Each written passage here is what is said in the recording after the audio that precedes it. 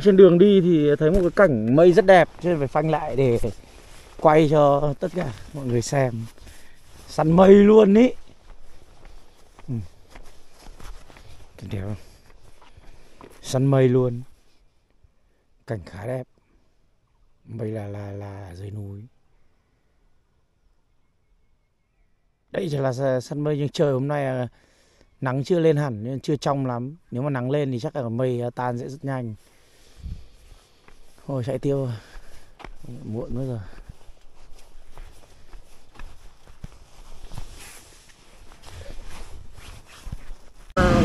Hiểu, thế nào là xương trắng miền quê ngoại đúng kiểu xương trắng miền, mình quê ngoại luôn Trắng xóa hết cả đường ngoài đồng ngoài đường tất cả. Mà khi mà xương trắng như này thì nhiệt độ thấp xuống. Đi hơi lạnh ngón tay ờ, bước tay nhiệt độ có thể là không thấp lắm nhưng mà cái xương này nó làm cho nó buốt à, đèo pha đin đi nốt đèo này ờ, đi hết được gọi là bốn đẩy đèo Việt Nam. Đèo pha đin này thì nó không dốc như ô quy hồ với cả không ờ, không rộng như không phải nó cứ thay thoải thay thoải thay thoải khả năng chúng ta sẽ phải nghỉ ngơi, làm một cục nước ở cái đèo Pha Đình này. Ôi chết rồi. Qua mình quên rau rồi.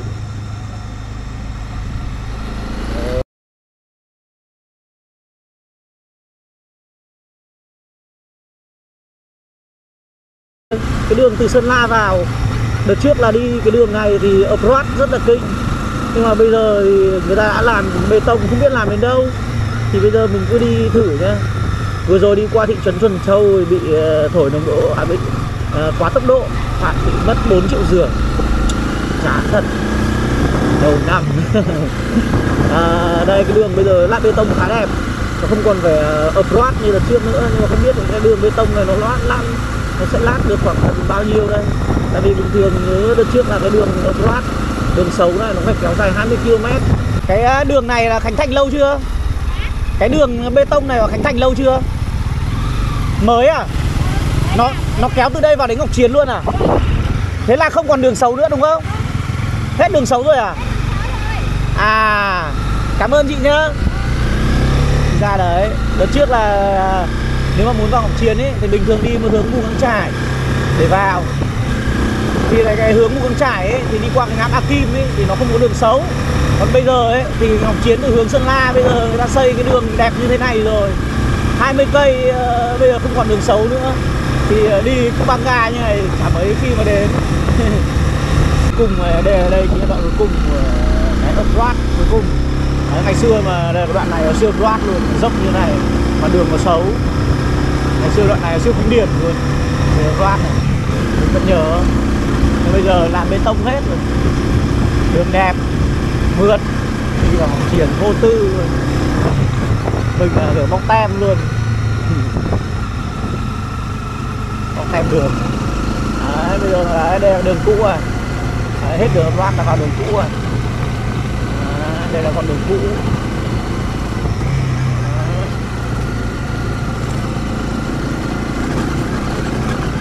Cái đoạn đường đôi này là đoạn gần cuối rồi đấy sẽ có một đoạn dốc cuối ờ, cái đoạn này rất cao. Là vừa mình, mình vẫn nhớ là nó sẽ đến Ngọc Chiến ấy. Thì nó sẽ đi được cái đoạn ờ, dốc cuối dốc cuối nó siêu cao luôn. Cái đoạn này cũng leo kinh rồi. Đây là cái đập thủy điện Ngọc Chiến. Đấy, đi qua đến đập thủy điện này là bắt đầu bước vào ờ, gần vào đến uh, uh, xã Ngọc Chiến rồi tham quan đập thủy điện nó nghiêng tí nha. Phanh lại đi.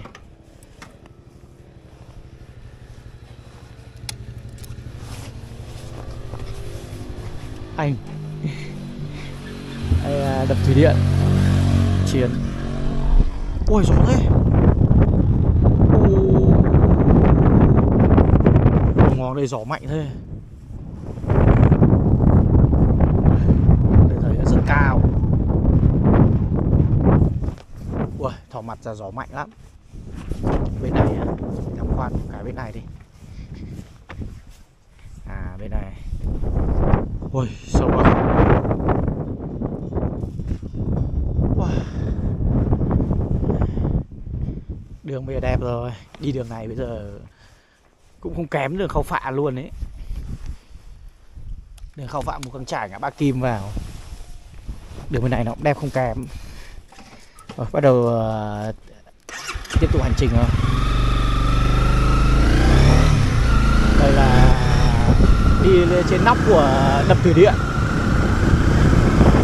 Đang đi trên nóc của đập thủy điện.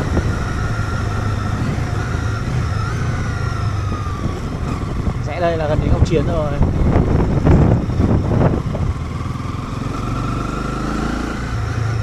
Và từ xa xa thì xã Ngọc Chiến đã hiện ra trước mặt một bức tranh phong thủy hữu tình giữa núi này, bản làng này và ờ, con suối. Ở dưới kia thì con suối nó chảy ra để hồ. Cái hồ thủy điện thì chưa biết là hồ tên là gì. Và đấy, có thể thấy là khung cảnh nó vẫn còn rất đẹp. Yên bình bắt đầu đến xã Ngọc Chiến đây là đây là địa phận xã Ngọc Chiến rồi à, chúng ta đang tiến vào xã Ngọc Chiến à, mình thì mình vẫn à, đi ra nhà nghỉ miền Bắc thôi. Tại vì ở nhà nghỉ miền Bắc thì ờ, mình là khách quen ở đấy. Khách quen của em Lãi. À, em tên là Lãi. Em là con dâu của ờ, nhà nghỉ miền Bắc. Nhà nghỉ miền Bắc thì là đầu tiên ở Ngọc Chiến này luôn.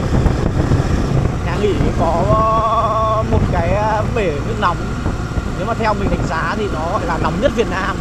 Để tắm được nhá, chứ không phải là nóng để luộc trứng, mà nóng để tắm được. Vậy là đã đến ờ, nhà nghỉ Việt Bắc. Nhà nghỉ Việt Bắc nó là trung tâm.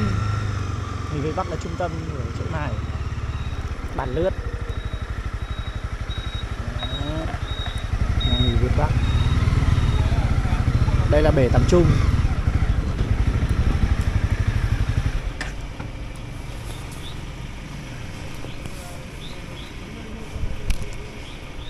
Đây là bể tắm chung? Đấy, bể nữ bể tắm chung của người đồng bào.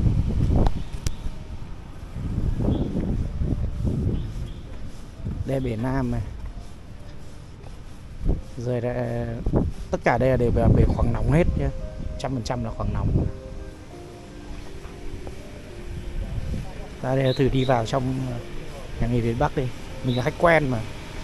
Mình ở đây khoảng tầm năm nào mình cũng phải về đây hai ba lần thì mình toàn ở phía Bắc thôi, chứ mình không ở chỗ khác. Tại vì chỉ ở đây suối nước nóng nó mới đủ.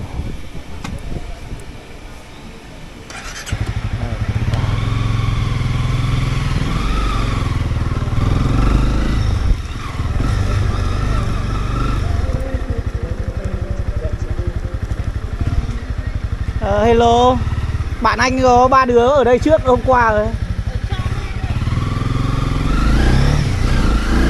Đấy, đây là khu ờ, bể bơi này Ngọc Chiến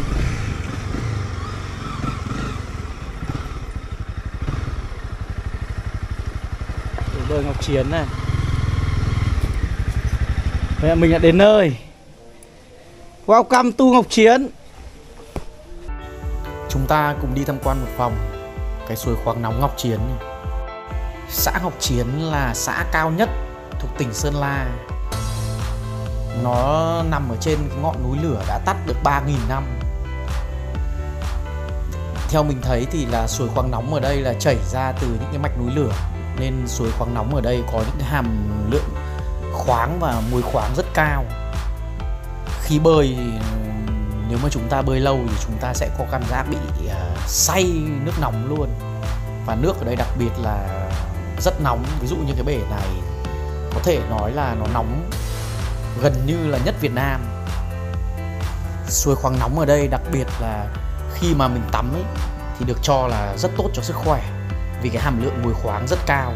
Nó còn giúp cho mình ờ, thư giãn này giảm căng thẳng mệt mỏi này. Nếu mà mình đang bị đau nhức xương khớp ấy thì mình ngâm nó cũng đỡ luôn cả đau nhức xương khớp luôn. Và đặc biệt ý là khi mà mình ở đây khoảng tầm 3 ngày ý, tắm xong thì hầu như da toàn trắng mịn, như da em bé luôn. Ở cái khu vực này thì ờ, có phục vụ đầy đủ từ ăn uống đến nghỉ ngơi. Và tuyệt vời nhất là khi mà tắm suối khoáng nóng thì ờ, chúng ta được tận hưởng cả một cái không khí trong lành của cái núi rừng vùng cao của Tây Bắc. Quá tuyệt vời luôn bây giờ chúng ta cùng đi nốt một vòng để xem cái khu nghỉ dưỡng của cái nhà nghỉ Việt Bắc này nó đã được xây dựng nên như nào.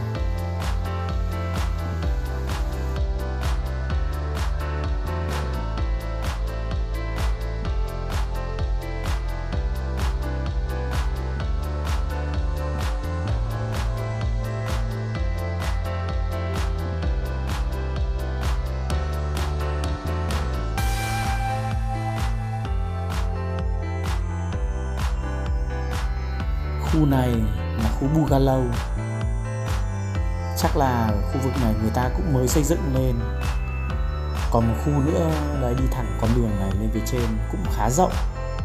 Cái quần thể ờ, nghỉ dưỡng này mình nghĩ là của cả cái họ hàng nhà ông chủ. Mỗi người trong gia đình sẽ kiểu quản lý một khu khác nhau.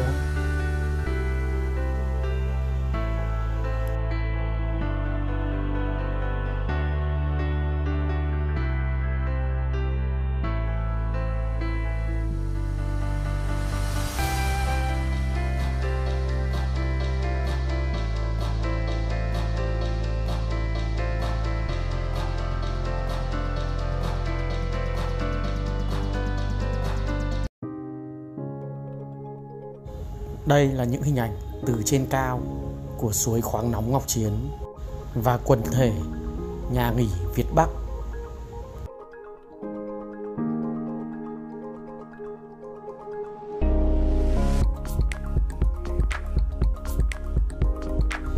Đây là những cái hình ảnh về khu Bugalow mà khu nghỉ dưỡng Việt Bắc này cũng vừa mới xây xong mình đánh giá cái khu vực này thì uh, mái nhà toàn được xây dựng bằng gỗ pơ mu hết. Nhưng có một điều là tường ở đây cũng làm bằng gỗ cho nên có những khe hở. Buổi đêm nằm cũng khá là lạnh. Các bạn nào nghỉ ở đây thì cần phải lưu ý. Còn đây là bể tắm cộng đồng của người đồng bào vùng cao ở đây. Người dân ở đây có một thói quen là mỗi lần chiều đi làm về sẽ qua đây tắm rửa rồi mới về nhà để ăn uống, nghỉ ngơi. Sau một ngày làm việc mệt mỏi thì được ngâm mình trong suối khoáng nóng này thì còn gì tuyệt vời bằng.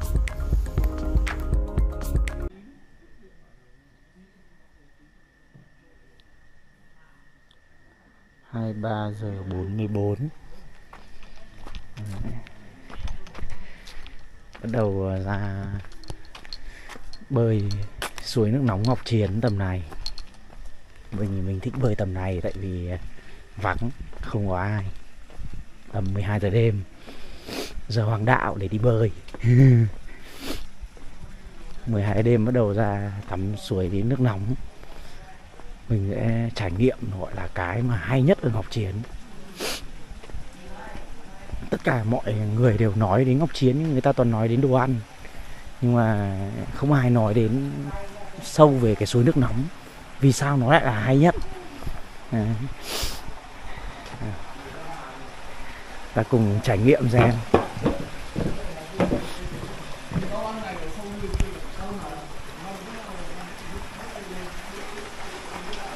bể bể nguội nhất này màu xanh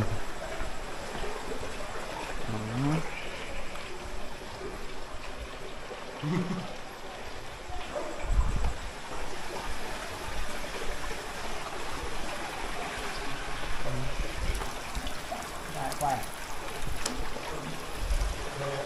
Bể bể nguội hai.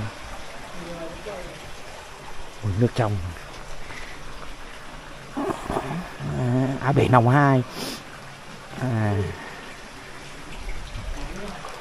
còn đây là gọi là bể nóng nhất. Bể nóng nhất đây. Hay gọi là à, bể này theo mình đánh giá thì nó là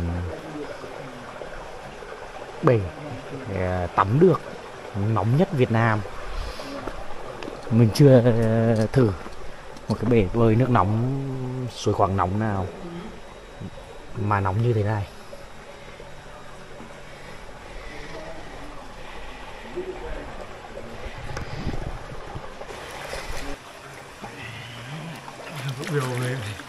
Ôi, nóng ấy. bây giờ mới là xuống là tắm suối nước nóng này. Đây là suối nước nóng thứ hai ở học chiến. Mùa đông tắm suối này rất sướng.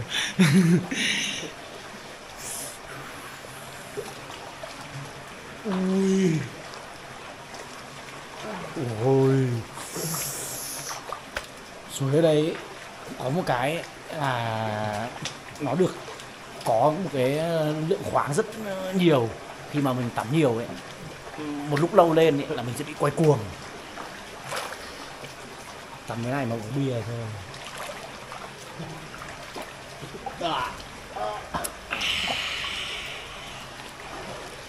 Mỗi lần tắm xong này ra chẳng nghĩ.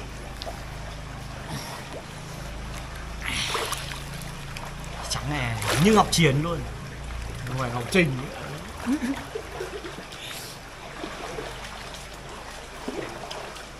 Bên kia có bể thứ ba, nó nóng hơn nhiều. Thử thách thứ ba. Tí nữa sang bên kia mình, nó là bể thử thách. Cho nên nó ở phía nam này, không có bể nào thử thách được như thế.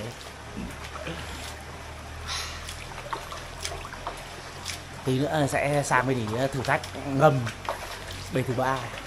Đấy. đấy mới là kiểu là cái đặc sản mà ở ngọc chiến này được mọi người chú ý đến.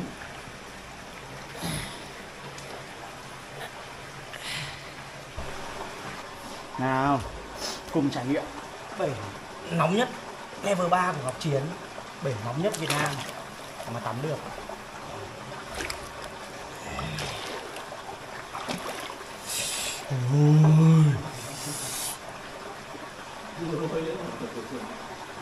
Bể này nóng phải 60 độ. Không chỉ được chúng nhưng mà nó cũng tái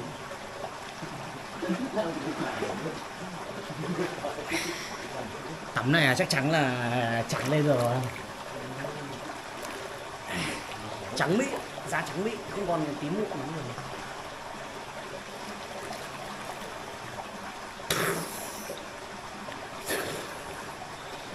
Bể này quá, độc nhất Việt Nam luôn, không ở đâu có.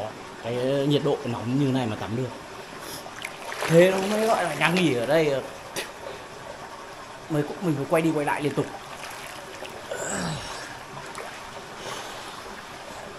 Ừ. đặc biệt khi tắm xong bể này mà lên bờ không còn lạnh nữa luôn. Hết lạnh. Ừ, kinh khủng.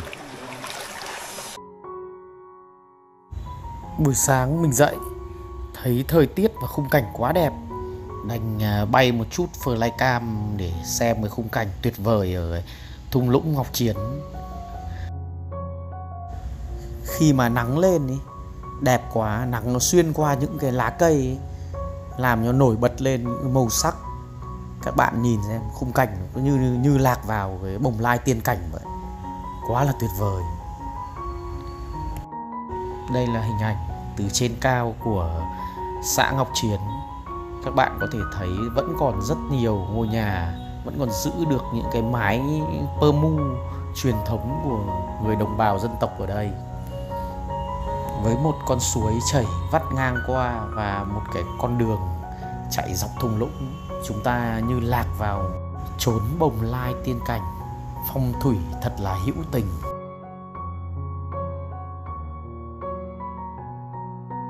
Hôm nay đã là ngày cuối cùng à, mình ở Ngọc Chiến à, buổi chiều à, đi qua thung lũng Ngọc Chiến để đón hoàng hôn đi có vẻ hơi muộn một chút nhỉ?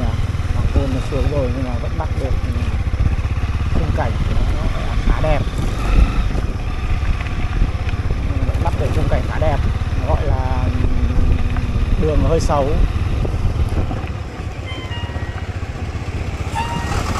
Người ta đang giải nhựa người ta chuẩn bị làm đường lớn lên thì chắc chắn đường này sẽ đẹp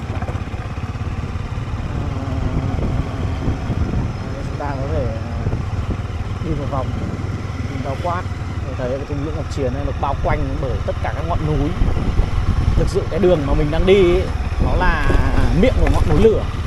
Đã tắt được 3.000 năm tất cả những ngọn núi ờ, mà bao quanh này này nó đều là miệng của ngọn núi lửa hết. À.